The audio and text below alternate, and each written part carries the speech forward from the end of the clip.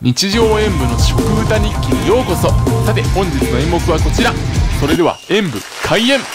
伊勢名物赤福を食べたいと思いますって。あまあ伊勢名物って書いてますけど買ったの大阪駅なんです。なんか三重県ってもう文言によっていろんなところでなんか中京圏に属してるとか関西圏に属してるとかいろいろ言われてたりなんかちょっとどこにちょっとどっちに入るのかなみたいなところがあるので大阪駅でも使ってるんでしょう。まあこういうける範囲になって買えるっていうのは嬉しいんですけどねまあネットで買ったらいいじゃんって突っ込まれそうな気もしますけどまあとりあえず美味しいですからね。昔食べたことはなんか本当に幼稚園ぐらいの頃に食べた記憶があるんですけど今食べてみるとどうなのかな？こうこういう木べらみたいなのあったな当時も。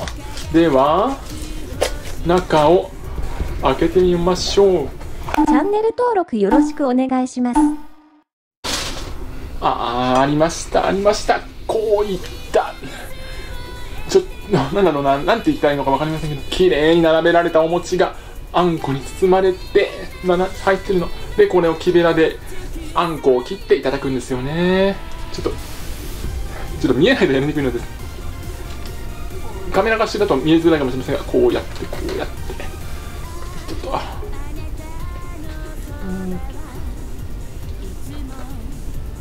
い。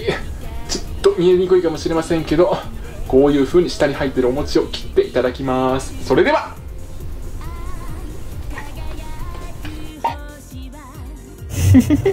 私たちがこうして会うのってもう何十年ぶりだよね。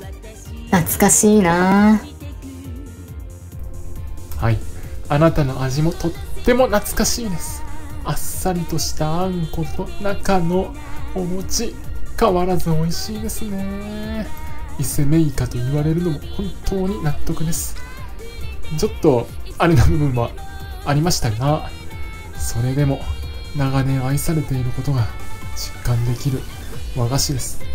うーんもっと別の味も食べてみたいなという気持ちもある一方で今の味がずっと続いてほしいと思う気持ちもあってうんちょっと複雑かも。でこの包み紙やヘラも変わらず残っているのが本当に嬉しいです。レビューが遅くなったのは申し訳ございません。詳細や説明はこの後すぐ。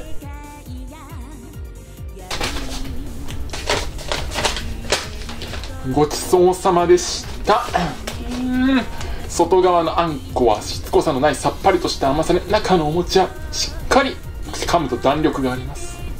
シンプルなんですけどあんこの甘さと生地の食感がよく合っていてとっても美味しい。和菓子お土産になっていますね。長年愛されているのも納得です。まあ、ちょっとやらかしたこともありますけどそれでもこうして売られているというのがそれを上回それを跳ねのけるほどの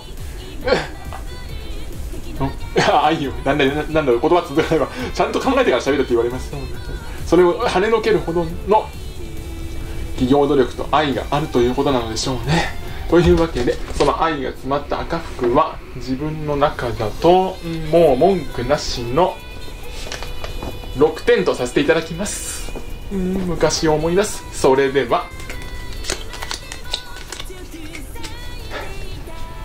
初中見舞い私に送るや赤服を。いや今食べたばかりでしょうがよって突っ込まれそうですね。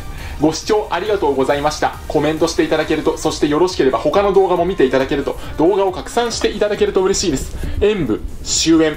本日の演目はお楽しみいただけましたか？チャンネル登録コメント高評価していただけますと嬉しいです。ではまた明日の演目でお会いしましょう。それではさようなら。